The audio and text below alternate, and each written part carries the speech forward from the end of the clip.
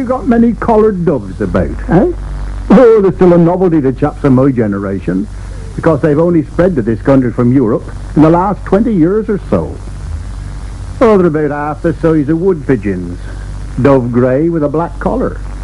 But the first you know about having them around is the noise they make. Oh, it's a plaintive coo, coo, coo. It seems to go on forever. Oh, it's a boring, unmusical sound, but they're pretty little birds.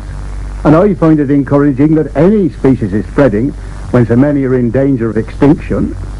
but collared doves eat corn, and it's astonishing how quickly they'll discover where we're feeding our pheasants. Now at this time of year we put thick patches of straw on sunny patches of woodland roads and scatter grain in the straw.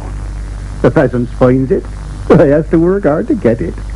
They have to scratch the straw away, and as they scratch, the grain sifts through till it's eventually on the ground. So the old pheasants really do have to move a mountain of loose straw to get at the golden grain underneath it. The idea of this is that if we keep them busy, then they'll stop at home. But if they could get the grub easy, then they'd gorge, and they'd wander off to somebody else's patch. well, our collared doves are very cunning too. They hop unobtrusively about among the pheasants, picking up the grain just as they reach it. Real thieves they are. Anyway, the reason I ask if you had many coloured doves is that I wish you'd got ours. and I'll bet our pheasants would echo that too. Well, we in Ambridge last week, Jill and Mrs. P had some church cleaning to do. I'll tell you plainly, Jill, it's not as if I take a delight in speaking ill of folks, 'cause I don't, especially when I'm standing in church. But it's just not decent, isn't it? He's taken advantage of Mr. Gabriel, and I think it's downright scandalous when he's got to that age. Oh, Walter? Nelson, Oh, I see. a grown man like that doesn't bear consideration. Hmm. Is something the matter? No, it's all right. I was just looking at the holly, wondering if I ought to replace some of it. It's lost a lot of berries. I can't think why Aunt Laura wanted to put it over the radiator in the first place. She must have known. It hardly seems worthwhile, does it? At least I wouldn't have thought so. I don't suppose anybody will notice. You're probably right. I'll see what Carol says when she gets here. Yes, well, please yourself. Of course, the easiest thing will be to get rid of those few sprigs altogether. But I have no doubt there'd be loud mutterings about people coming in and interfering with other people's wall displays. Anyway, what were you saying? I beg your pardon? About Nelson taking advantage of his father. Oh, it's the truth. Not that it's any of my business, and I don't pretend otherwise. But I'd have thought that when a person's supposed to be in financial difficulties, he might find something better to do than lounge about in a dressing gown at ten o'clock in the morning. Is that what he's doing? He even answered the door in it, invited me into the house, and then sauntered off down to the gate to collect the milk, bold as you like. When was this? Today, I had to go round there to fetch me feather duster. I'd forgotten where I'd left it till I realised I'd need it for dusting round the woodwork in the choir stalls. I didn't know where to put myself. Wasn't Walter in? Oh, yes, he was there, sitting with his feet on the poof, watching some nonsense on television. He asked me to stay and have a cup of tea. I said I hadn't got the time.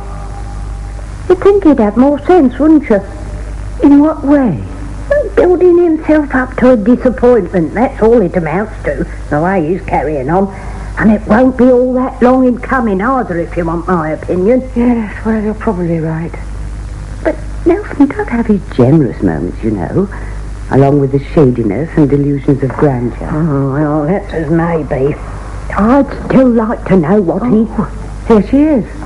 I'm sorry I'm late. That's all right. Hello, Mrs. P. Afternoon, Carol. We haven't made much of a start as yet. Oh, good. I was just getting ready to leave when Colonel Danby arrived. Some business about a protest meeting. Protest meeting? Apparently there are several people in the village becoming somewhat impatient about the gypsies. And they've decided to make noises. Who? Now, Jean Harvey, for one. Mr. King, for another. That's nothing new, surely. Jean Harvey's been making a fuss from the minute she saw the caravans arrive. So's Aunt Laura, if it comes to that. Well, people have a right to their point of view, Jill. And there's no doubt about it. That camp, or whatever they choose to call it, is becoming a real eyesore. Lumps of metal and old tyres all over the place. But even so. The thing is, it's got beyond the mere fuss stage. There's a hardening determination to get them moved on forthwith, and a public meeting's being called for. Nonsense. I suppose that's why Colonel Danby's involved as chairman of the parish council. Well, yes. Well, he seems highly embarrassed by the whole episode. And he isn't the only one, I can promise you that. You can see what they've still got to do, Freddie. It's really just a matter of clearing up all the roots and debris and having a bonfire. Yes, yes, I suppose so. They've taken all the useful logs out. In fact, I think they've already sold most of them. They're just waiting to be delivered. At least that's what Dave Tasker told me. Which one is he? The elderly chap. Usually drives the pickup. Ah, yes, yes. If you'd like to meet him and have a word or two. I already have. He, he came by the hall a couple of days ago, wanting to know if we'd any scrap to get rid of. I see. Was Laura at home? No, fortunately. Fortunately indeed. He does tend to give as well as he gets on these occasions. So do the rest of his family, if Eddie Grundy's experience is anything to go by. you know, I really am sorry for troubling you about all this, John. I realize it's none of my business, but if you'd heard some of the outraged citizens that seem to be monopolizing my telephone line just recently... I can quite imagine. What do they expect you to do, exactly? I think the general idea is that I'm supposed to make you and Carol see reason, or oh, failing that to threaten you with social ostracism. On behalf of Jean Harvey and the rest of the vociferous minority? I'm afraid it's more a case of the vociferous majority, the way things are going. I doubt it. And anyway, you've seen for yourself that it'll probably be only a matter of days before the work is finished. And after that, the taskers will leave of their own accord. Have they mentioned anything about where they might be going to next? No. But then it's hardly likely they would, is it? Not to me, at any rate. Why, don't they trust you? No, possibly, to some extent.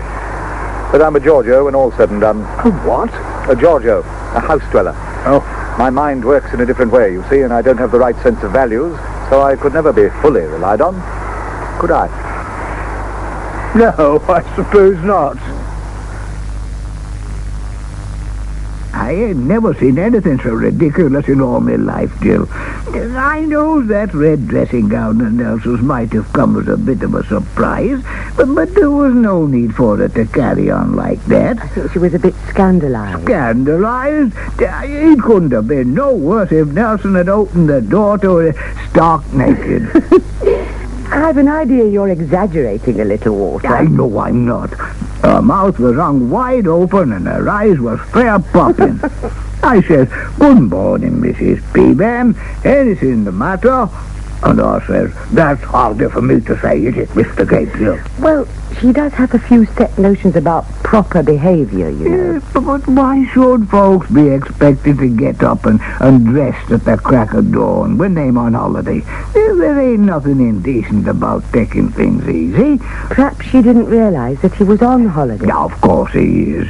He's got to sit back and take stocky. Yes, of course. I, uh, I don't suppose he feels like discussing his business very much at the moment. Oh, we has a chat now and then, you Mhm. know. He likes to try and explain to me about this problem he's got with cash flow and, and realizing his assets. But I've told him he ought not to worry about it. It's only a matter of time before things gets back in order. I see. Not that he could make Jack Woolley understand that. It must have come as something of a surprise to Nelson when he found Jack so unsympathetic. Oh, small-mindedness. That's all it was, small-mindedness. But he'll laugh on the other side of his face before he's finished. You mark my words. Hmm. Anyway, I must be going. Sure will have the tea ready with any luck. Unless she spent the entire afternoon rying with David and Phil about the taskers. Who? The gypsies who are working for Carol Tregorran. Or supposed to be. Uh, You mean they ain't getting on with the job? Not noticeably. In fact, from what she said when we were cleaning the church yesterday, there's been very little progress for more than a week now. I think she's had just about as much as she can take. Yes, I quite see that. Well, give them our best wishes, won't you? right. Bye, dear. Richard seems to be enjoying himself. Yes, I gather. I can't understand it. Oh, why not? No, how any country-bred boy can bear to waste half the festive season in London is totally beyond me. Oh, rubbish. Ian Goring's his best friend. And he's got hardly any friends in Ambridge. Which is why he spent most of Christmas playing disco music in his room, if you remember. That's true. Would you like some more coffee? Oh, no, thank you. On the other hand, he might have thought it was the best way to avoid all the baleful looks that members of the Tregorran family get while walking through the village. I shan't let it go on much longer, you know, John. Look, it's all right for you. You take the larger view of the whole issue and you can afford to be philosophical about it. I can't, I'm afraid. Why? Because my orchard's in a mess and I'm getting sick and tired of being the cause of local uproar. And this public meeting thing is the last straw. Oh, do you think so? I'm looking forward to it. Oh, don't be ridiculous. I'd quite relish the thought of telling some of these Glebelands people how the rest of Ambridge reacted to their houses being built. When it comes to rural landscape, let he who is without sin cast the first stone, which should put Jack Woolley quite out of the running. John, they have not finished the work, and from what I can see, they have no intention of finishing it. That root and top could be cleared and burnt in a couple of days if they put their minds to it. Well, couldn't it? I imagine so. So what are they up to? Look, if you'd like me to go and have a talk today... I think you'd better. Because I'm not going to have them spinning out the contract like this just to make an excuse for staying here. You can tell him I want the land cleared, and unless I can see some definite action by the middle of the week, I'll move them on and get someone else to do the job. I'm sorry, but there it is. Oh, very well. I'll see what he has to say. Thank you. Are you there, Dad? Hello? Uh, it's all right. It's only me. Oh. Yeah, I, I thought you said you was going down to Martha's. I did. She hadn't got anything. Eh? Well, nothing at all. No, the only things on the shelves are those packet dinners that bear no relationship to food whatsoever. I think the pictures on the front are intended as some sort of warning. Hey, what am you on about? Oh, never mind. But what did you expect, Nelson? It's only a village store, you know. You can't expect it to stock anything too fancy. No, I don't. If you want the truth, I only went over there in desperation after going through the fridge and the larder. No, I can't help it if I ain't got the makings of a slap-up meal in the house. I never said you could. There's there's what's left of the joint from yesterday, uh, and that dinner corned beef. Hmm, I saw them. Well, what's wrong then? No, nothing. Except that I thought it might be rather nice if we saw the new year in with some semblance of a celebration. Well, we shall celebrate, only quietly, that's all. But, Dad, I'd like to provide you with a meal you'll remember. Eh? And I'm going to do it once more. But, but how? We'll go out. But I ain't got no cash. Oh, forget about that. I'll pay for it. But you... Uh, all I need to do is start phoning around. Of course, it might be difficult to find somewhere decent that isn't already booked up for tonight. But, are you sure, Nelson? I thought Don't that you... think anything. Just run upstairs and make sure you've got a, a clean shirt ready. Whatever it costs, we're going to enjoy ourselves. You must have some idea, surely, Eva. It's just that we have not found time to discuss it yet. Uh, At least not specifically. I see. Do you find that strange? Well, no, I suppose not. But when I decide to get married, the time and place will be the first things on the agenda. I mean, there hardly seems much point in raising the issue otherwise. Not that I want to be rude or anything. That's all right. Jennifer finds it strange also. She even rang James at the police house to find out if he was serious. She didn't. Oh, that's what he told me. Of course, she said she would like to offer her congratulations to him. But he detected an undercurrent of disbelief. Hmm, It's most annoying. I don't know why she imagines I am so foolish as to mistake someone's intention. Oh, she's only being protective. And after all, you have given her some cause for concern in the past. Oh? Well, for a start, look at the way you allowed Nick Waring to wipe the floor with you. He did not wipe the floor with me in any way. He gave a pretty good imitation. Nicholas was not a gentleman. You're telling me. But the point I'm trying to make on Jennifer's behalf... I really don't think there is any need for us to go dragging up the past, Shula. I'm sorry. I wasn't intending to hurt you. I am not hurt. It's just that you must see... Oh, hello, Brian. Hello, when did you arrive? Only a few minutes ago. I wanted to talk to Jennifer, but I hear she's over at Auntie Peg's. Well, she should be back shortly. Eva, Debbie's lost a strap from her roller skate, and Adam started a rumor that you've put it away safely somewhere. It's beside the hall telephone. I found it on the stairs after lunch. Well, would you mind taking it up before they pull the room apart? Of course. Excuse me, Shula. Oh, now what have I said? Nothing. It was me. We started off talking about Jim Coverdale, and then somehow or other Nick Waring found his way into the conversation. Oh, Lord. It's quite bad enough with Adam walking around the house whistling the tune from Z-Cars all day long, without you coming and stirring it as well. Sorry. She's off her head, you know. It might be the perfect match. But for heaven's sake, the man hasn't even bought her an engagement ring. He proposed to her out of sheer boredom. I dread to think what her parents are going to say. You mean she hasn't told them about him yet? Not that I'm aware of. I've assumed she's saving it up as a New Year present. Hmm. Anyway, what are you doing with yourself tonight by way of making merry? Working. Oh, yes, of course. You'll be at the Bull, won't you? Until 11. Then I'll be going to ring the church bells with Neil and Uncle Tom and all the rest. I've told you, Eddie, I don't want to go to any parties. I've made my arrangements already. You can always change your mind, can't you? Why should I? Because you're going to have more fun with me than swinging about on bell ropes at Old Forest. How do you know? And if you don't, there must be something wrong with you, old son. Yeah, there will be any case that keep squinting down them gun barrels for very much longer. I've got to make sure they're clean, haven't I? Ah, clean, he says. You've been polishing them for the best part of half an hour. You take it to bed with you as well. Look, just because I like to look after things... Let's have it a minute. Eh? It's all right. I'm not going to hurt it. Just want to see what handles. Yeah, not bad. Probably a bit short in the stock for you. Hmm. Careful, you nearly hit the blooming lamp with it. There's 250 quid's worth there, you know. You must be daft. Why? I got it for 20% below the list price. Well, you could have had the automatic valve for 60. Yeah, so you said, but I didn't want it. Yeah. I've done you as well as this. No, it wouldn't. Ah, give it here, will you? Let me tell you something, my son. I've been using a shotgun since I was 12 years old. Yeah, so's Jethro, but it doesn't mean to say he's any good. Uh, I am. Why don't you come and show me then? Like he says he's going to. When? Tomorrow afternoon. We're going to have 20 clays each on the practice trap, and the lowest score buys the beer. I told him it was time he put his money where his mouth is. Up at the quarry? Yeah. Mr. Forrest's going to be there to arrange things. There's a good mind to shame the pair of you.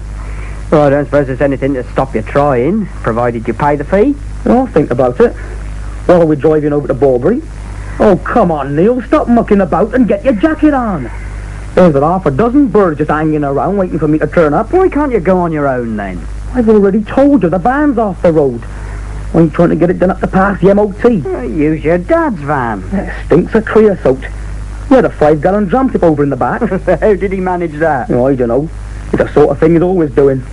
Must be a natural ability. Look, if you don't want to come to the party, why don't you just run me over there? You are? You can have a good quick look around. See if there's anything that takes your fancy. You might never know what you're missing. Hmm, yeah, I can imagine. Especially if it's that crowd from the Country and Western Club. Doesn't matter who it is. They'll do you more good than sitting in the Bull playing dominoes. Unless you've started weighing your chances with Shula Archer. Don't talk stupid. I caught you on the raw there, old son. what good would it do if I did drop you off? You'd still have to find somewhere getting back. I'll think about it when the time comes. Well, Well, what? are we going or not? Hmm. Still no sign of him, Uncle Tom. No, none at all. What on earth is he playing at? It's nearly ten to twelve. I know. I told him quite distinctly that we were all going to be at the church by a quarter to at the latest. We are, except for Neil. You don't suppose he's gone somewhere and lost track of time, do you? On New Year's Eve. Well, I know it doesn't sound very likely, but I don't know what to think, Shula. He's not the unreliable sort as a rule. No, that's what I said the other week when Dad was moaning on about some oversight up at Hollowtree. I was given a sordid catalogue of the year's major events, featuring such things as burnt cornfields and stolen pigs. Oh, he's had his moments, right enough. Got to admit that. But all the same... Hang on, who's this? What? Ah, that's him. Oh, thank goodness. I really was giving up hope, you know. You're not the only one either. It is him, isn't it? Neil, Hello? Oh, What's that? I couldn't see you properly in the dark. you've got it a bit fine, haven't you, my lad? Uh, I know, I'm sorry. I got waylaid a bit coming back from Bawbury. Bawbury? What were you doing there? Uh, I was at a party. Whose party? You do realise Uncle Tom and I have been pacing the flagstones and biting our nails to the quick, wondering whether you'd been kidnapped. I said I was sorry, Shula. The trouble is, by the time I'd taken Marjorie home... I- Marjorie? Who's Marjorie? Do you mean to say you've been running around the countryside with strange women What do you mean, strange? She's not strange. Well, never mind whether she is or not. Let's just get ourselves inside the church and start getting ready, shall we? Eh? Honestly, Neil. And you can save your arguments till 1980. and you haven't very long to wait now. You've only just missed her. She's gone to the cinema matinee with Debbie and Jennifer. There's a double Walt Disney showing. Yes, I believe she mentioned something about that last night, now I come to think of it. What can I offer you? I'm sorry? A New Year drink? You must have something. Oh, I'd rather not, if you don't mind, Mr. Aldridge. As a matter of fact, I'm just going on duty. Oh, I see. Sorry. That's why Eva wouldn't have expected me to call round this afternoon. Well, if it's something important, I mean, if you'd like to leave a message. Oh, no. It's quite all right, thanks. I'll give her a ring later on. Oh, just as you like. Anyway, I uh, suppose I'd better be moving. Go and see how Ambridge is behaving itself, eh? Something like that. I heard a few bangs coming from up the lane as I drove in. Bangs? Yes. You don't happen to know if they're shooting over in Longwood, do you? Well, I should think you heard some of the shots coming from the clay quarry. If it was a few and not just one. Oh, yes, of course. I should have thought of that straight away. Stupid of me. I don't know who's up there practicing, though. Unless it's somebody who's been so disgusted with his performance this season that he wants to put it right while there's still a chance. Do you shoot at all? No, I've never really had the opportunity. Or the interest, to tell you the truth. Oh!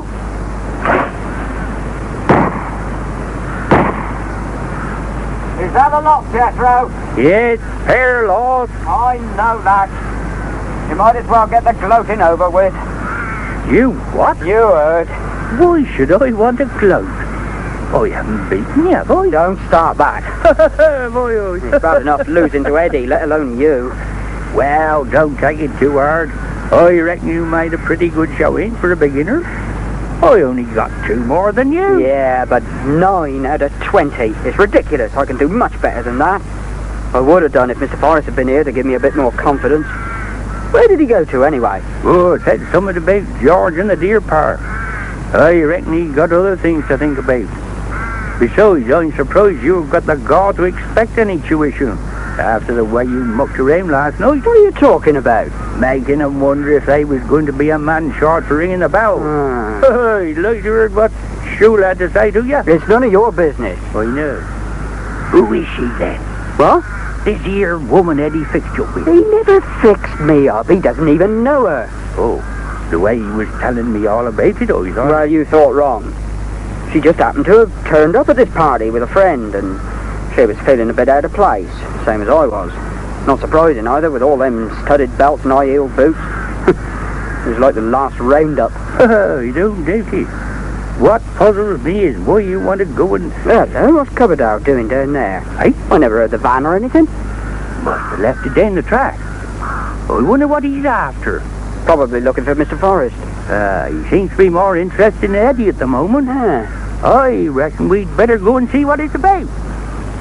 Is it your shotgun? Of course it's mine. Who do you think it is? There's no need to be insolent. I'm asking a perfectly civil question. Yeah, but it so happens I was about to put it in Neil's car. He wouldn't mind handing it back. Have you got a certificate?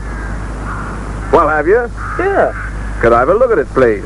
Yes, did you want to come back to the farm? You mean you haven't got it with you? No. Hey, what do you think you're doing? I'm afraid I shall have to take the gun into custody until such time as you produce a valid certificate. It'll be waiting for you at the police station. What for? Look, I've told you I've got one, haven't I? You're obliged to carry it with the gun. Who said? Look, I'm not going to have an argument, Mr. Grundy. Produce the certificate now, or this goes with me. Afternoon, Neil. hello. Something the matter? Nothing at all. Have you got your certificate? Yeah, in the car. Why? I'd just like to have a look at it. What about you, Mr. Larkin? Mine's a town where it always is. You better hand over your gun then. Eh? What do you mean? Why should I do that? Because Mr. Coverdale's short of things to carry, that's why. Well, hand it over. The man's waiting. But, Dad, Neil already explained it to you. Never mind what he's explained. You just keep your nose out of it, Clarrie.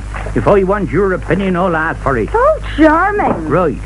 There's the certificate. Now you just show me where it says I ought to carry it with me whenever I take the gun out. It doesn't. Well, there you are. What have I been saying? Yeah, but you're still supposed to. You've got to be able to produce it. Oh, now am I expected to know that? You just are, that's all. It was Mr. Forrest that told me when I first bought my gun. Well, it's bloomin' ridiculous. You've said that before. Ah, no, say it again. To that there Coverdale. Who the devil do you think he is, any road? Confiscating folks' property. Oh, I reckon it was only Eddie that he was out for, really. But he had to take your gun as well, so as to make it look right. Huh, it strikes me he's making a job for himself. Why should he come nosing round the clay shoot in the first place? You wouldn't have seen Colin Drury round it? Oh, I don't know. Of course you wouldn't. This bloke's too blasted pleased with himself. And daft with it. Hmm, Eva doesn't seem to think so. Oh, and what difference does that make? None. Look, do you want me to make the tea now, or are you going to fetch the gun back from the police house first, or what? I've got to know, because if Mum gets back from Grams and finds I haven't got anything done... I I'll don't be- want any tea. Oh, don't be stupid, Dad. Of course you do. I told you I don't. What you don't seem to understand, Clarrie, is that all this is very upsetting to someone like me, who's never been in trouble with the police before. You're not in trouble with the police, Jethro. What are you talking about? I don't know what else you can call it. It's a black mark against my character. What is? I beg your pardon? Honestly, you don't half like to make yourself important. What do you think they're going to do? Open the file on you? Hmm. Well, there's no way of telling, is there? Oh. I'm going to put the kettle on. Some of us are famished, even if you're not. Well, try shutting that door behind you while you were about it. That's better. There's no wonder this parlour's like an icebox. I can't think why he even bothered to light that blooming fire. Uh, do you want me to go with you? Where to? Where do you think? The police house? I reckon I can manage on my own, thank you, Neil. Well, I don't mind. Can't help feeling it's partly my fault, as a matter of fact. You'd never have gone to shoot Clays if I hadn't suggested it. I'm glad you said that. The same thought's been crossing my mind this last hour or so. Eh? Not that you're entirely to blame, of course. Oh. Thanks a lot. I'm sorry, Joe. He isn't here. Uh, How do you mean? Exactly what I say. He did call in this afternoon for a little while, it's true, but... Well, what the devil's she on about then? Does she think I've got nothing better to do than to traipse round the village all evening? Who? Caroline Bone. She told me quite distinctly that Jack Woolley was round at your place. And when was this? Not a quarter of an hour ago. Well, in that case, there must have been a misunderstanding somewhere along the line. Oh, it's a misunderstanding, all right. Don't you worry about that, Mrs. Archer. But if he thinks he can take my Eddie's money and then allow that copper to come prancing up making a mockery of the lad, he's got another thing coming. What on earth are you talking about? What copper? That there Coverdale throwing his blasted weight about. Time somebody took him down a peg. Look, I'm sorry, Joe, but I haven't the faintest idea. Look, my Eddie went up to that quarry in good faith. He paid five pence apiece for the clays and a ground fee on top of it. And then he has his gun taken off him just because he didn't bother to take a piece of paper. It's a downright disgrace. Now, wait a minute. Let me try to get this clear. Are you saying that Jim Coverdale came and took Eddie's gun while he was shooting at the clay quarry? He'd finished shooting. He was coming home. Not that it makes any difference. I hold Jack Woolley responsible. It's me, Peggy. Are you... Oh, sorry. Oh, it's all right, Phil. I won't be a second. Humiliation, that's what it is. Yes, I'm sure. If you want me to pass on a message to Mr. No, no, no, don't trouble yourself. I'll track him down sooner or later. And I'll give him something to think about, what's more. Yes, well, good night then. Yeah, good night. Uh, evening, Joe. Oh, evening. Phew. Everything all right? Hmm? Oh, yes. What the dickens did he want? He was trying to get hold of Jack. Evidently Caroline Bone told him he was round here. Can't imagine how she got that idea. Or why she passed it on. Well, was it something urgent? I don't know. To tell you the truth, I still can't make head nor tail of what Joe was ranting about. Why would Coverdale want to take Eddie's gun away from him? Oh, I can think of any number of reasons. Why, is that what happened? So it seems. But what's that got to do with you or Jack? It was while he was up at the clay quarry. Oh, I see. I wonder what's been going on. I can't think. And to be honest, I don't intend to let it bother me. I doubt whether Jack will either. Oh, I'm not too sure about that. If there's been some sort of incident and it took place on his property... Well, I certainly won't be the one to break it to him. I've already put my foot in it once today, over Nelson Gabriel. Uh-huh. I let it slip how he'd taken Walter to the Feathers for a slap-up meal yesterday evening. Really? First I've heard of it. Walter gave Mum all the details this morning. He was as pleased as punch. Yes, I can well imagine. Who paid for it, though? Nelson. What? But he can't have done. Well, that's what Jack said. He intends going into Borchester tomorrow to make a few discreet personal inquiries, whatever that means. I think I know exactly what that means. But Nelson wouldn't try to pass a dud check in a place that's so local, surely. Why not? He tried it at the Bull. He'd have tried it with Martha if Jack hadn't managed to get there before him. Yeah, that's true. Anyway, I'll go and get my coat. Mustn't keep you waiting when you've been good enough to provide a taxi to the family gathering. Oh, I wouldn't really call it that. You did say it was the car battery you were having trouble with, didn't you? Yes, I'm afraid it's flat. I'd better get Hayden to it. Well, as a matter of fact, I thought we might take it down to Brookfield with us now. What? Oh, but Well, Phil. no trouble. I'll slip it into the back of the Land Rover. Well, if you're sure it's no trouble. No, none at all. Uh, have you got your garage keys?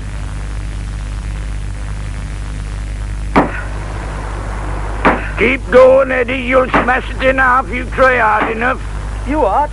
I said you'll smash it in half. That's what you want to do, isn't it? Oh, I'm trying to get some of this concrete out. The stuff you left to go hard because you couldn't be bothered cleaning the barrow. You do realise it's the only barrel we got, the only heavy one, anyway. Yeah, it's heavy, all right. Gets heavier every blasted time you use it. What do you want? There's a cup of tea for you in the kitchen. Just made it. Oh, Thought you can do with one before you go back to work. Your other work, that is. yeah, the work I get paid for. Do you want it or don't you? Oh, I'll be in in a minute. I gotta get that roofing ladder out of the barn and load it into the truck first, Why? so I don't drive off without it. And I'll drop it back at the yard this afternoon. But I ain't finished with it yet. Oh, I can't help that, Dad. Got this new bloke in the office, and he's spending all his time taking inventories, checking up on where all the plant and tools are, and how long they've been booked out for. Oh. Ugh, one of them busy types, like Coverdale. Hey. Now you just watch your step as far as Coverdale's concerned. Hey? The trouble with you is you never listen to good advice. I warned you about rubbing him up the wrong way. I said if you give him any excuse, he's going to start leaning on you. I might just lean on him one of these dark nights. No, you won't. You'll do as I tell you for a change. Try and find a bit of sense from somewhere. What? When I came in yesterday and said he'd walked off with the five shot, you said that for two pins you'd go and wrap it round his neck. Ah, but that was in the heat of the moment. Now listen. You want to start an argument with folks in authority, you've got to have the law on your side. I found that out when I got the better of Bellamy. Got the better of him? Yeah. I made him realise it wasn't going to be quite so easy to get me off this piece of land as he thought it was. And I made him give me enough time to get the place back on its feet without that manager of his coming and harassing me every five minutes. Oh, I'm glad you mentioned him. I I forgot to tell you about him. Forgot to tell me what? He rang up about uh, half past nine while you were out doing the pigs. Sinclair? Yeah. He wants to have another look at the place, uh, see how the work's progressing.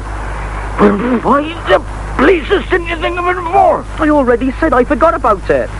Be turning up after dinner, round about uh, two o'clock. To tell you the truth, Uncle Tom, I don't think Andrew knows quite what to expect.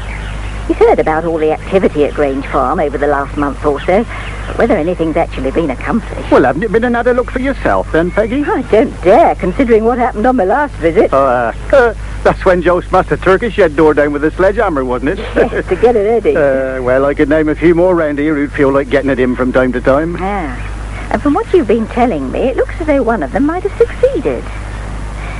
Do you think it was personal spite on Jim Coverdale's part?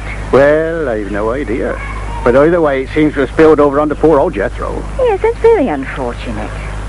Strange that Joe didn't mention it last night. Probably slipped his mind for the moment. If it was Eddie, he'd be concerned over. Anyway, Mr. Woolley knows now. How's he taking it? Could be taking it more seriously if he wants my opinion.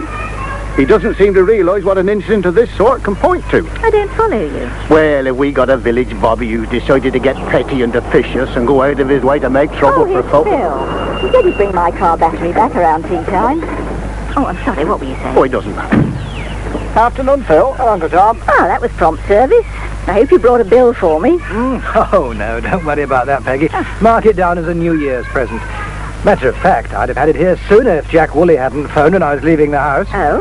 Apparently he's found out that a certain gentleman paid for a certain meal by cheque on New Year's Eve, and he wondered what we ought to do about it. Oh, no. There's no doubt about it, I'm afraid. Oh, I'm not with you, Phil. Who are you talking about? Nelson Gabriel. Eh? But I thought he'd got no money in the bank. No, he hasn't. But evidently he doesn't think a little thing like that should be allowed to affect his lifestyle. Will, now that Jack's onto him, he was absolutely furious. Yes, but what can he do? Stop his gallop was the phrase I heard. Be a bit difficult, though, won't it? Unless he wants to go upsetting Walter into the bargain. Obviously. But he'll think of something. You can rest assured of that. There's got to be something wrong somewhere, Dan. Something wrong? Why? Well, you just put your hand on that radiator. You'll soon see what I'm talking about. Oh, Lord. There. Now, what did I tell you? Wait, wait, wait, hang on. Let me feel the bottom of it as well. Oh, it's warm all the way through. Well, what good's that? Should be blazing hot at the moment. This hall's like the inside of a fridge. I meant that seeing as it's the same temperature top and bottom, it can't need bleeding. Is that supposed to reassure me in some way? The over 60s are going to start rolling in here any minute. And they'll be expecting to sit down and watch the slideshow in comfort. Oh, I think you're exaggerating, Laura. It's not that cold. And besides, it'll be dark so people could cuddle up to one another. Oh, now, don't be ridiculous. Ah, I bet there's some that won't think it's a bad idea. You're not much help, are you, Dan? Well, I'm sorry, but I don't see there's much else I can do. I'm not a heating engineer. Hey, you don't happen to know whether anybody's been fiddling with the thermostat, I suppose? I know that I most certainly haven't, so there's no point in your looking at me like that. Oh, evening, Jill. Evening. Evening, Aunt Laura. Oh, evening. Sorry I'm a bit late. Oh, that's all right. We're thinking of cancelling the whole show anyway, unless we can get some warmth into this place within the next quarter of an hour. You mean you're thinking of cancelling it? I haven't said anything. Is it cold then? You just take your coat and gloves off, Jill, and try standing still for a moment. Hey, you know what your trouble is, Laura? You've been spoilt by all them whacking great log fires that Colonel Danby makes. If the sweat's not running off the walls, you think you're dying of exposure. Well, please yourself. I'm not going to stand here arguing. I've got things to do in the kitchen. But you wait till Mrs. P and one or two more arrive. You'll find that there are still some people who share my opinions. Did that last remark have any relevance to anything, Dad? Well, I'm not altogether sure, Jill, but I shouldn't be surprised if it was meant as a crack at me over this to do with the gypsies. Oh? Aye, we had a little bit of an argument beforehand, you see, round at Glebe Cottage. she reckons some of us on the parish council are ignoring public feeling in the matter. Yes, I've heard her make a couple of statements to that effect now I come to think of it. Ah. Isn't that the idea of the meeting next week? So that Mr. King and the rest can put a fire under you? Aye, but I don't know that I shall lose any sleep over it. I told her quite flatly, if she's expecting me to go and badger the Tregorrans, she'll have to get her ideas organised. I can't see anybody on the council being prepared to do any badgering. Joe Grundy and Jean Harvey, perhaps. No, and Joe's preoccupied with his own concerns at the moment. At least that's what I hear. Harassment, that's what it is. Harassment and victimization, pure and simple. Oh, here, Joe. Get that down you. It'll make you think the world's treating you better. I doubt it. Takes a lot more than a jar of cider to set me to rights. Yes, well, that'll be 34 pence, please. Ah, very much. You'd think it was enough to have that copper picking on my heady, wouldn't you? No, no. I could have Ralph Bellamy's hired lackey sniffing round me place as well, just to make sure I don't get too much peace and quiet. Hired lackeys? Ah, Sinclair. Oh, see. Ah, Andrew's been paying you a visit, has he? Ah, this afternoon. Sort of surprise, was it? Well, it wouldn't have been if my Eddie remembered messages. Strikes me he can't remember anything except the daft words on them blasted records of his. I'll cart the whole lot out to the bin one of these days. you want to be careful he doesn't put you in after him. Eh? Well, he gets a bit touchy, doesn't he, when he's crossed? Look here, Sid Perks, if you're going to start blackening my boy's character, No, I wouldn't dream of it. Hello, Mr. Archer. Hello, do, Sid. Hello, Joe. Evening. Um, I'll have a pint, please, Sid. Ah, point it is. Ta. How you keeping then, Joe? Oh, can't grumble. Oh, blimey. Something the matter? No, no, nothing Aye. at all. Nothing. I, uh, I wasn't expecting to see you in here quite too early, Mr. Archer. Me? Eh, thought you was across at the uh, village hall for the slideshow. I was. It's just finished. I thought Polly's mum said it went on till nine o'clock. It probably will if she stopped behind for the tea and buns. It so happens that I prefer something a bit different. Oh. What slight show's this, then? I heard nothing about it. Yeah, well, now you see what you missed by not going to the over 60s. I wasn't talking to you. Oh, I beg your pardon. Uh, thanks, Sid. Here, then, take it out of that, will you? Thank you very much, Mr. Uh, cheers. Cheers, Joe. Cheers. Ah. Yes, it was all about endangered species. Some marvellous pictures of birds. Amazing creatures, the chap called it. Yeah, some friend of John Tregorran's, isn't he? Ah, that's right. Yeah. Ah, thanks, Sid. Pity Tregorran couldn't have given a talk. About them other amazing creatures, the ones he's got camped at the bottom of his wife's orchards. Be real interesting, in that would. Get a paying audience, I shouldn't wonder. If you mean the travellers, Eh, eh, then... mind out, will you? Eh, There's a chap over there by the fire I want a word with. I, I only just noticed him. Sorry. Uh, thank you. He's in a pleasant mood. Not that it's anything out of the ordinary. Now ignore him. He's been grumbling since he come in. And he told me that Andrew Sinclair's been at Grange Farm this afternoon, so I suppose that's got something to do with it. Now, Phil told me he's seen Andrew's car turning into the lane. Uh, I should have known better than to start talking to him. Yeah, there's quite a few that will agree with him, though. You what? About the travellers. Oh, yes. Yes, I know. I'm sorry, Mrs. Archer, but I'm not quite clear what it is you're asking me to do. I'm asking you to look into the matter. Yes, sir, you've said. But what does that mean exactly? Do you expect me to search the vans? Well, I don't Because if so, I shall need a warrant and some evidence. All I'm saying is that two of those children we were seen fooling around near the car park of the village hall last night. And later on, somebody discovered they'd got a hubcap missing. One hubcap. Well, what difference does that make? And whose car was it that had been vandalized? There is no need to be sarcastic, Mr. Coverdale. I'm not. But if a theft is being reported, it would be useful to me to know whose property had gone missing. I am not reporting a theft. I'm reporting a nuisance. I realise that unless somebody actually saw them take the hubcap or saw them with it, there's nothing much you can do. But you'd like me to look into it. Yes. I see. And which children were they? I beg your pardon? You said two were seen. To my knowledge, there are five kids living in those caravans. Oh, I think one was the eldest boy. Well, I don't know whether he was the eldest, but he's certainly the biggest. Looks to me as if he's about uh, 12. Ah, yes. Mick. Eh? That's his name. All right, I'll see what I can do. Well, you do understand, of course, that I'm not expecting you to recover the hubcap. I just want to make sure it doesn't occur again. Naturally. Well, I mean, for heaven's sake. If people can't leave their cars unattended in the middle of a village, it makes you wonder morning, what the... Laura. Oh, morning, Tom. Well, what are you up to? Do you want to see me about something? Well, as a matter of fact... uh, Because if you do, you can give me a lift home. Well, that's if you wouldn't mind. No, no, not at all. But it was Jim I wanted to talk to, really. Oh, I'm sorry, Tom, but it'll have to wait unless it's extremely urgent. I'm due in court in half an hour. Oh. Oh, well, some other time will do. I should be back by mid-afternoon, if that's of any use to you. Ah, righto. I think it was a great success, John. Everyone I spoke to seemed to have enjoyed it anyway. Hmm? Apart from those horrific pictures taken on the game reserve. Oh, the poachers, you mean? Hmm. Yes, I thought that was a bit unnecessary in the circumstances. I know the general idea is to make people vividly aware of what goes on, but I hardly think the dwindling number of elephants will be helped by giving Mrs. Bagshaw nightmares. No.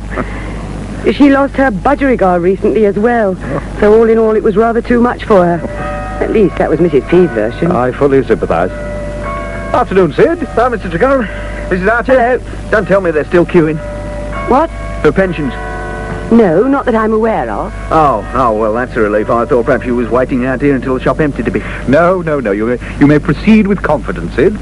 We were merely discussing the slideshow last night. Ah, well. He- I heard it all went off pretty well. It's a pity about that bit of bother with the hubcaps, though. Hubcaps? What hubcaps? I thought there'd been some swiped in the car park. It's the first I've heard of it. Me too. Ah, well, perhaps I've got it all wrong, but... Well, there was a bit of muttering in the public at dinner time. To what effect? Somebody seemed to think that the Travellers' kids was responsible. Oh, no. Well, I'm only repeating what I overheard, like. Of course. Well, I suppose that's where Jim Coverdale was off to just now. What do you mean? Well, he was heading in the general direction of your place, Mr. Tregorran, and I suppose if a complaint's been made... How long ago was this? Oh, uh, five, ten minutes. It couldn't have been much more than that, because I've Thanks only a lot. Excuse me, won't you, Jill? I really must get to the bottom of this. Yes, naturally. Bye, John. Well, you've certainly started something there. Uh, yes, I have, haven't I? It wasn't intentional, though.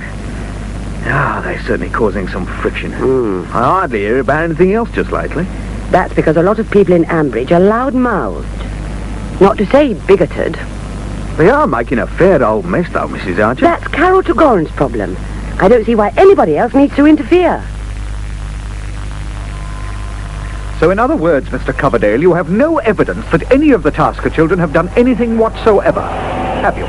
Well, I was given to understand... I don't care what you were given to understand. You have no right to behave insolently to people who are living on private property and minding their own business, when they're allowed to. I'm sorry, I wasn't aware that I had been insolent. Really? Well, it may surprise you to learn that the elderly gentleman whom you were speaking to when I arrived is called Dave or Mr. Tasker, not friend. At least not in that derogatory manner. Mr. Tregorran, I'm placed in a very difficult position.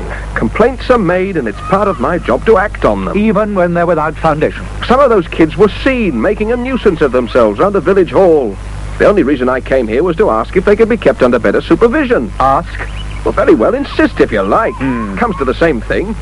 I'll still take damn all notice of me or anybody else. How long have you lived in the countryside, Mr. Coverdale? I'm sorry, I don't see that that's got It anything has quite a lot to do with it.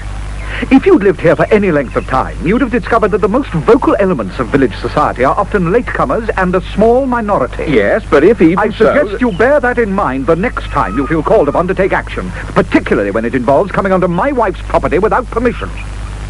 Do I make myself clear? Thursday the 24th, which would give me one, two, uh, best part of three weeks. Now, Hello? Anybody home? no. Mom? Dad? I'm in the office. Hello? Hello? I'm in here. Honestly, if it's not one thing, it's another. Oh, I was beginning to think the house is deserted. Well, it is apart from me. Where's Mum? Round at Glebe Cottage. Sorry? She's round at Glebe Cottage. All right, no need to burst my eardrum. Look, will you come in or go out? But either way, shut the door, Shula, please. Thank you. What are you so bad-tempered for? I'm not bad-tempered. I've just been trying very hard to get some paperwork done, and I've had nothing but interruptions. Who from? Everybody. First Neil, then Graham, then your mother. What did Neil want? Oh, nothing, nothing at all. You mean he was just feeling depressed and lonely? Oh, don't be ridiculous. He came banging on the door, wanting his hand held over some simple problem he should be able to cope with on his own initiative. Oh, Anyway, why are you interested? no reason. Except that I waved to him across the yard a minute ago and received a very surly acknowledgement. Oh, well, I sent him away with a flea in his ear. Ah, well, that might explain it. I have to know these things. Huh? In case he comes into the Bull tonight still sorry for himself. I shall be very pleased when you've stopped serving in the Bull. Why? Because it's the way I feel about it, that's why. Look, why don't you go and make the tea? David should be in shortly. And has he been working today? Well, of course he has. He's been giving Fred Wakefield a hand on the ditching. All right, I only asked. You really are in a mood, aren't you? What? Yes, I am. I'm sorry. What is it? I don't know. Sheer panic, I suppose. I've just been through my diary for the next month or so. And with all the things I've suddenly got to do and think about. You'll manage it. Visits here, visits there, drainage officer, ministry surveyor. They come to you, don't they? Yes, but it's all got to be fitted in, and somehow there don't seem to be enough hours in the day or days in the week. And as if that isn't sufficient, I've got your mum staging a Defend the Gypsies campaign, and Jethro still mumbling about being turned into a criminal, and both your granddad and Jack Woolley pressuring me about Nelson Gabriel. Oh? What about him? Well, they're convinced that unless something something's done, he'll keep on passing dud checks around the place until the law catches up with him and brings shame down on Walter's head. Mm, don't you agree with them? Well, Well, yes, if I stop to think about it. But I don't see what I'm expected to do. Do you fancy a biscuit, Nelson? Nelson, Sorry, what did you say, Dad? biscuits. What about them? Well, I got some in the larder. Bought them from Martha this morning. I thought you might fancy one with your coffee. Got to have something to finish your supper off. No, thanks. I don't think I'll bother. Um, look, do you mind telling me again what Jack Woolley said? But I've already told you. Yes, I know, but exactly. I told you exactly. There ain't nothing wrong with my memory, you know. I'm not suggesting there is, Dad. It's, simply that I can't make any sort of sense out of it. Oh, seemed clear enough to me. He said he'd like to see her as soon as possible, 'cause he had a proposition to put to you. Yes, but what kind of proposition? Does he mean business or what? Why don't you ring him up to find out? It ain't no use you sitting there asking me questions, Nelson. If you'd have been in when he called... Yes, I know. You said that already. Well, who is this chap you went to see in Allerton Any Road? Somebody I knows? No, I don't think you ever met him. His name's Morton. Oh. I did him the odd favour from time to time in the old days. And you thought he was about ready to do you one back. Is that it? Mm, or something along those lines. You're quite sure Jack Woolley seemed amicable, are you? Oh, why don't you go up and see him, same as, as he says? He might want to apologize or something. What for? Well, well, that misunderstanding as you had. Yes, well, why not? We do live in an age of incredibility after all. Eh? No, nothing. It doesn't matter. What are these biscuits you keep going on about? Fig rolls or custard cream? Custard creams. They always was your favourites. It's a completely different attitude, Dad. I mean, to the majority of people who live and work in the country, a shotgun's part and parcel of everyday life. Jim Coverdale obviously doesn't think like that. You mean he's prejudiced? Right, possibly. Well, I must say, I don't recall Colin Drury ever creating a fuss like that. No. And look at all that nonsense with Neil. I only found out about it the other day. No, what's this then? Oh, Uncle Tom tells me that Coverdale went round to Nightingale Farm to see where Neil was planning to keep his gun. And he more or less insisted he put locks on cupboards and goodness knows what else. Some folks might call that sensible, Phil. Yes, but it isn't a legal requirement, and he knew it. He was exceeding his authority. Anyway, I suppose Jethro will recover from the insult sooner or later. As I was telling Shula yesterday, I've got other things to think about at the moment. Aye. You know, it's funny to look up there to Lakey Hill and think it'll all be different next year, not having the ewes out there anymore. Uh, yes, I was going to talk to you about that. We ought to make a trip to Rosemaund fairly soon. You know, the experimental husbandry farm. Ah. And see if it's really on. And get some ideas about simple housing. Well, at least I ought to. Hmm. It'll cost a bit. Still, the grants will make it easier if we're eligible. Well, I'm not so sure about that. We might get a percentage if we're lucky, but we still have to find most of the money ourselves. Oh, I don't know. Housing use seems a waste of money to me. Look, Dad, if we're going up to 300 ewes next autumn, we can't afford to have them out treading all the grass all winter. Yes, I suppose you're right. Anyway, it's early days yet. What is it? Does he think you're being lazy or what? No, of course he doesn't. I think he just finds it slightly unnerving to have a daughter of my age hanging around the place without fixed aim or ambition. Well, it's hardly your fault you couldn't get your job back straight away, is it? Oh, Dad never suggested it was. And anyway, I don't take too much notice of what he says when he gets irritable. It's mostly because he's loaded down with worries about the farm. I wish I could get him to pay my hunt subscription, though. Well, tell him you'll pay him back in instalments. Oh, I daren't. He's been a bit sensitive about money ever since that business with the travellers' checks. Oh. Oh, speaking of travellers, Mm-hmm. Eva rang me last night to tell me her fiancé had a severe dressing down from Mr. Tregorran. Have you heard anything about it? Nothing at all. Apparently it was all because he'd been rude to the Taskers. Although Eva didn't put it quite like that, of course. Oh, I see. It really does serve him right. If you'd seen the way he behaved when we had to go and talk to them about pinching Holly, he is the most insufferable man... Good heavens. Oh. Hello, Nelson. Uh, good afternoon. How are you both? I'm fine, thanks. Does, does, does Mr. Woolley know you're here? I don't think so. Well, then you better leave before he finds out. Oh, why? Because otherwise he's liable to have you dragged round the country park on a rail. Isn't that what you're insinuating, Caroline? Something like that. Uh, unless you've come to settle your outstanding bill, of course. Uh, not just at the moment, I'm afraid. Hmm. Uh, where is Jack? I'm not absolutely sure. I think he said he was lunching at the golf club. Ah, well, then perhaps you could get him on the internal telephone for me. Or simply tell him I'm waiting here. Ah, there's your beer, Walter. Thought it was best to we'd ate at the bar, save cluttering up this little table with bottles. No, thanks very much, Tom. Oh, well, cheerio. Ah, cheers, then. Now then, what was it you were saying a minute ago? Eh? What about a chap called Morton. Oh, ah, yes. Uh, the chap Nelson went to see yesterday. Uh, that's why he weren't at home when Jack Woolley called. Oh? I thought the name rang a bell. Oh, you know him then, do you? Well, not really, but I remember him calling at the cottage a few years back over some of that stuff in the attic. What stuff in the attic? Well, there was a few boxes and things that Nelson stored up there. Oh, ah, yes, that's right, so there was. Ah. So when your roof had to be mended, me and Dan went up there and shifted them round. That's it, Tom.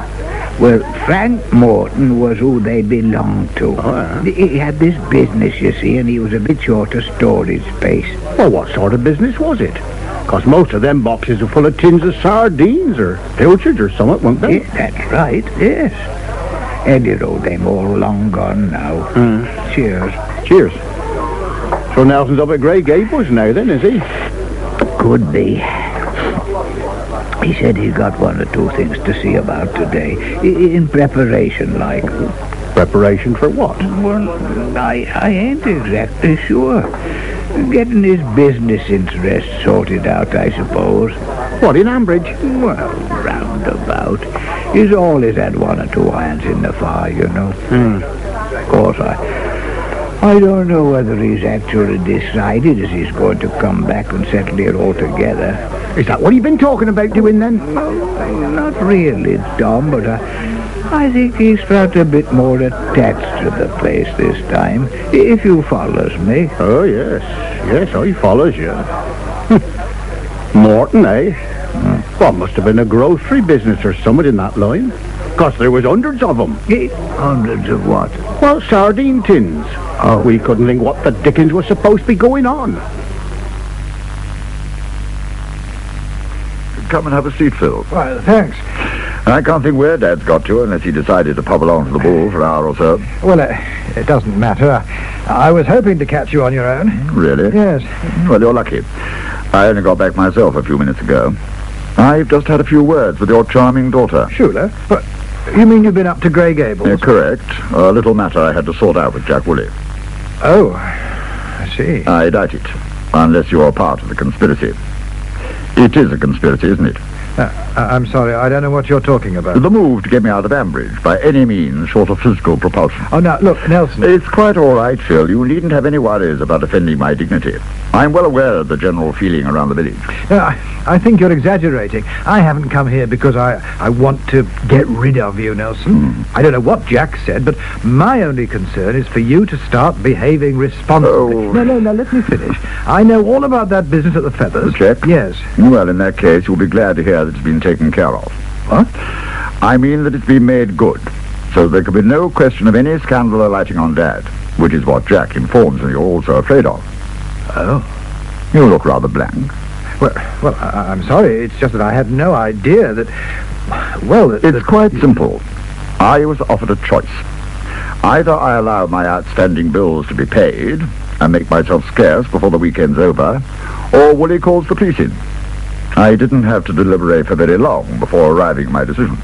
Oh, I'm sorry. What for? That you've let yourself get into this mess. If only you'd had the common sense... Oh, spare me the lectures, Phil. They weren't part of the bargain. Yes, but no... My suitcases are on the bed, and I've got a few more things to pack into them. I don't think we have anything else to talk about. Do you?